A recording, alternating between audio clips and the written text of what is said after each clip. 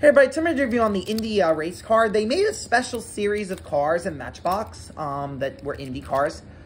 Um, this is one of them, and it says it's used under license, um, Indy 500 Racer. Now, they did make other Indy 500s. This wasn't the only one they made. Um, they made several of these, um, and these are very cool racers. Um, it says Indy Goodyear 11, Indy on the back. So it is definitely an Indy 500 car. Um, it's it has eight dot wheels. Um, it has an 11 on the sides. Um, it's pretty nice looking. Um, it has Matchbox made in China, 155th scale.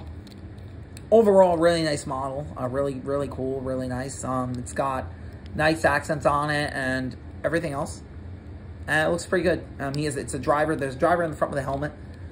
Um, they made, again, several of these cars. Um, I don't really have much to say about it. Uh, it's not really all that rare, I don't think. Um, I'm not really sure how rare it is. Don't really know how rare this car actually is. I'm not really, like, in clue with that or in tune with it.